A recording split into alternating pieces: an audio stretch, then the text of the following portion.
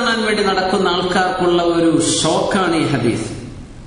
അൽ മർഅത്തുൽ ഹസന നല്ല ഭംഗിയുള്ള പെണ്ണാണ്. പക്ഷേ അത് വളരുന്ന വളർച്ചയുടെ സ്ഥാനം മോശമാണ്.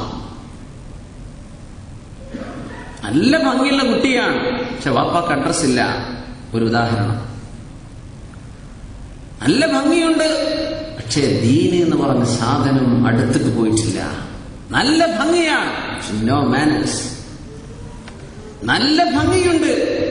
പക്ഷേ പക്ഷേ ബദീഉൽ കലാമല്ലാതെ പറയൂല. തോന്നിവാസല്ലാതെ വായിന്ന് വരില്ല. കാണാനൊക്കെ ഉഷാറാണ്. അത് നിങ്ങൾ പോയി നിങ്ങൾ അന്വേഷിക്കല്ലേ നിങ്ങൾ അങ്ങോട്ട് പോകല്ലേ എന്ന്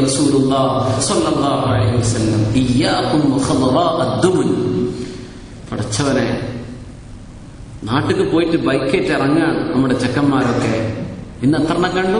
പത്ത്. നാളെ പന്ത്രണ്ടെണ്ണം പ്ലാൻ ഉണ്ട്. മറ്റന്നാൾ ഏതെങ്കിലും പറ്റിയോ? പറ്റിയിട്ടില്ല. ഇവനാകെ നോക്കുന്നത് ചുർക്കാണ്. പതിനഞ്ച് ദിവസത്തെ ലീവാണ് എട്ട് ദിവസം കൊണ്ട് കല്യാണം നിക്കാഹം നടക്കണം. അഞ്ചു ദിവസം കൊണ്ട് ഹണിമൂണ് പോകണം പിന്നെ തിരിച്ചു പോരണം. ഗൾഫിലേക്ക് തന്നെ. ഇങ്ങനെ ഓടുകയാണ്. അവനാകെ നോക്കുന്നത് എന്താ? ഹമറുദ്ദുമൻ ചുർക്കുണ്ടായ മതി. വേറൊന്നും പ്രശ്നമല്ല. നമ്മൾ ചെറുപ്പക്കാരുടെ ഒരു അധപ്പതനം നോക്കണം. ആകെ അതേ പ്രശ്നമുള്ളൂ. സുഹാനുള്ള നിബിധങ്ങൾ പറഞ്ഞു നിങ്ങൾ അങ്ങനെ നോക്കല്ലേ? നിങ്ങളൊരു കുടുംബത്തിന്റെ നാഴികക്കല്ലായി മാറാൻ പോകുന്ന ഒരു ഉമ്മയെയാണ് നിങ്ങൾ അവസ് അവസാനം നിങ്ങൾ അന്വേഷിക്കുന്ന ഈ ഭാര്യ അങ്ങനത്തെ ഒരു ഉമ്മയാണ് നിങ്ങൾക്ക് ജനിക്കുന്ന കുഞ്ഞ് സ്വലാഹിലായി ജനിക്കേണ്ട കുട്ടിയാണ്.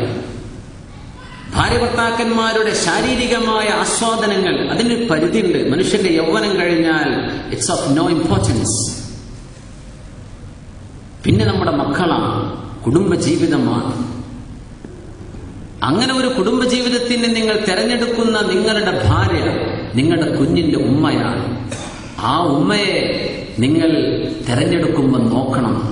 മമ്പിത്ത് സൂ ചീത്തയിൽ നിന്നും ഉണ്ടായിട്ടുള്ള നല്ല ഭംഗിയുള്ള പെൺകുട്ടി. ഇയാക്കും അത് നിങ്ങൾക്ക് വേണ്ട. അതൊക്കെ അന്വേഷിക്കുന്ന വേറെ ആളുകളുണ്ടാകും അവർ കെട്ടിക്കൊണ്ടുപോയിക്കോളും. മുഗ്മിനീങ്ങളെ നിങ്ങൾക്കത് വേണ്ടെന്ന് റസൂറുണ്ടോ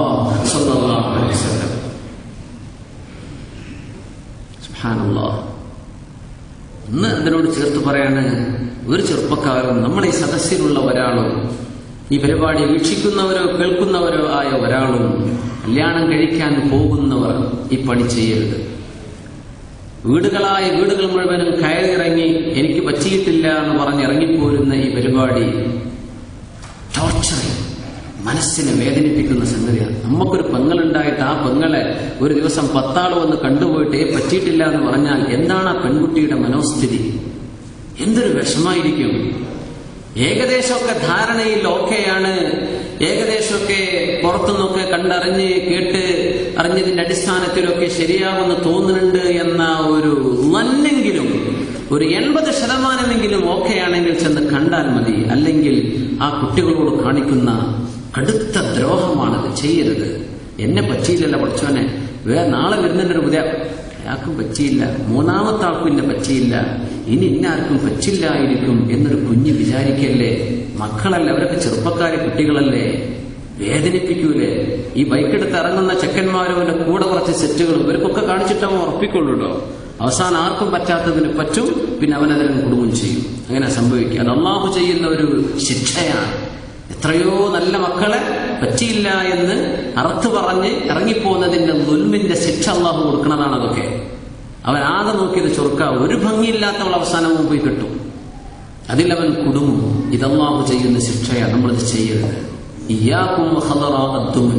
ഞാൻ പറഞ്ഞു വന്നതിന്റെ മുഖ്യമായ ലക്ഷ്യം അസാനിയത്ത് വസാനി എന്ന് അള്ളാഹു താല പറയുന്നു. തൊട്ടടുത്ത ആയത്ത് വരുന്നത് വിവാഹത്തിലേക്ക് സൂചിപ്പിക്കുവാനാണ്.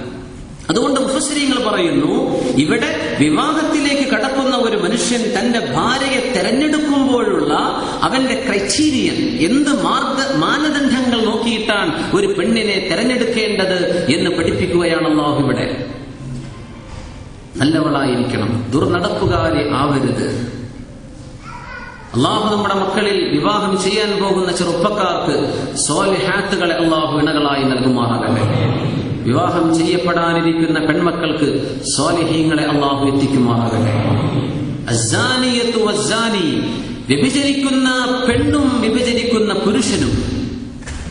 അങ്ങനെ ഒരു പ്രയോഗം വളരെ ചുരുക്കിയിട്ട് അള്ളാഹുവിന് പറയാമായിരുന്നു. അല്ലദീന യസ്നൂൻ വ്യഭിചരിക്കുന്നവർ ദോസ് ഹു ഡു അഡൽട്രി മൗസൂല കൊണ്ടുവന്നാൽ മൗസൂലയും സുലയും അറബ് ഗ്രാമർ അറിയുന്ന ആളുകൾക്കറിയാം. അങ്ങനെ പറയുകയാണെങ്കിൽ ഇങ്ങനെ രണ്ട് വാക്ക് പറയേണ്ട ആവശ്യമില്ല. ഈ കാര്യം ചെയ്യുന്നവർ എന്ന് പറഞ്ഞാൽ മതി. എല്ലാവരും വിട്ടുപോകും അല്ലത് യസിനി. എല്ലാം പെടും അതിന്റെ ബേസിക് ഫോം അങ്ങനെ ആണും പെടും പെണ്ണും പെടും. പക്ഷെ ഇവിടെ അള്ളാഹു വ്യഭിചരിക്കുന്ന പെണ്ണും വ്യഭിചരിക്കുന്ന പുരുഷനും തുറന്നു പറഞ്ഞിരിക്കുകയാണ്. വ്യഭിചരിക്കുന്ന പുരുഷ പെണ്ണ് വ്യഭിചരിക്കുന്ന പുരുഷൻ എന്തിനെ ആദ്യം പെണ്ണിനെ പറഞ്ഞു എന്തേ പിന്നെ ആണിനെ പറഞ്ഞു?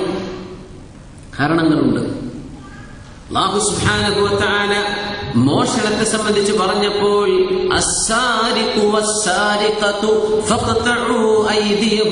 സൂറത്തുൽ മാഇദ.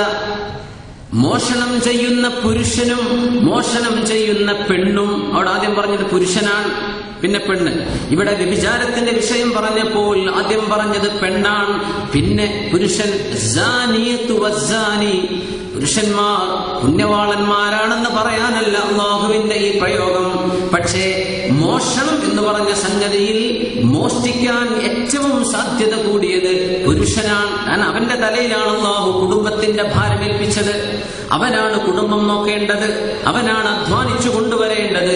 അതിന്റെ എളുപ്പമാർഗം നോക്കി മോഷണത്തിലേക്ക് എത്തിപ്പെടാനുള്ള സാധ്യത ഏറ്റവും കൂടുതൽ ആ ടെൻഡൻസി കൂടുതൽ കാണുക. പുരുഷരിലായതിന്റെ പേരിലാണ്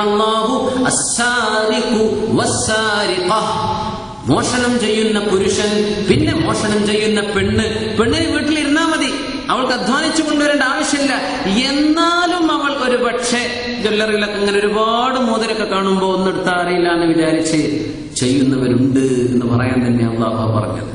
അവർക്ക് മോഷ്ടിക്കേണ്ട ഒരു കാര്യമില്ല. എന്നാലും ഒന്ന് ശ്രമിച്ചു നോക്കൂ അവർ.